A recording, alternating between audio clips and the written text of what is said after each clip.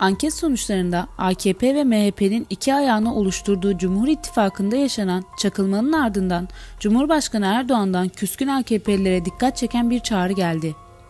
Erdoğan, irtibatı kopan partililere tekrar temasa geçmeliyiz dedi.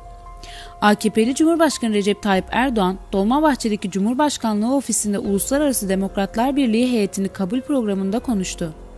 Meselesi millet ve memleket olan herkese kapılarının açık olduğunu belirten Erdoğan, herkesi birlik çatısı altında buluşturmaya çalışmalıyız.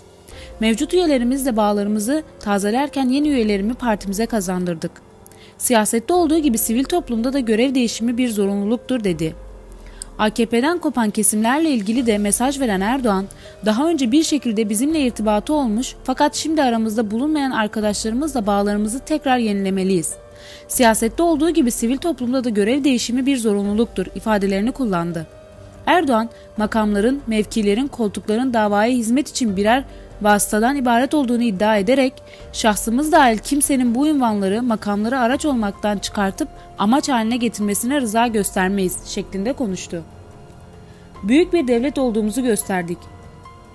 Ardından koronavirüs salgınına değinen ve Türkiye'nin gelişmiş ülkelere nazaran süreci başarıyla yönettiğini öne süren Erdoğan şunları kaydetti. Son bir yıldır insanlık olarak koronavirüsle mücadele ediyoruz. Gelişmiş ülkeler dahil birçok ülkeyi hazırlıksız yakalanan ülkelere rağmen Türkiye bu süreci başarıyla yönetmiştir. Cumhuriyet tarihinin en büyük tahliye operasyonunu gerçekleştirerek 141 ülkeden 100 binden fazla vatandaşımızı ailesiyle buluşturduk. Türkiye tarihiyle medeniyet birikimiyle vatandaşlarına sahip çıkmasıyla büyük bir devlet olduğunu bir kez daha göstermiştir.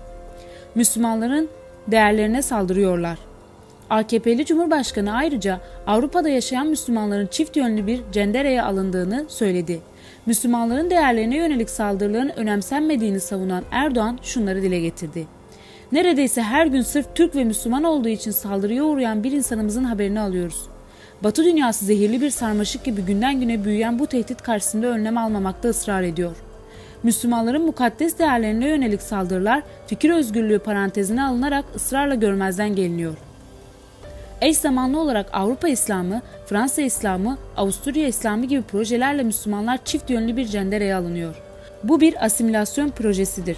Giderek yaygınlaşan bu projeye karşı hep birlikte mücadele etmemiz şarttır. Türkiye'ye çelme takmaya çalışıyorlar. Erdoğan dış politikadaki gelişmelerle ilgili de değerlendirmelerde bulunarak şu ifadeleri kullandı. Türkiye'nin bileğini bükmeyenler asimetrik yöntemlerle çelme takmaya çalışmaktadır. Türkiye'nin Libya'da, Suriye'de, Ege'de, Doğu Akdeniz'de en soğuk dağlık Karabağ'da bileğini bükemeyenler asimetrik yöntemlerle asılsız iddia ve ithamlarla çelme takmaya çalışmaktadır. Videomuzu beğenmeyi ve abone olmayı unutmayın.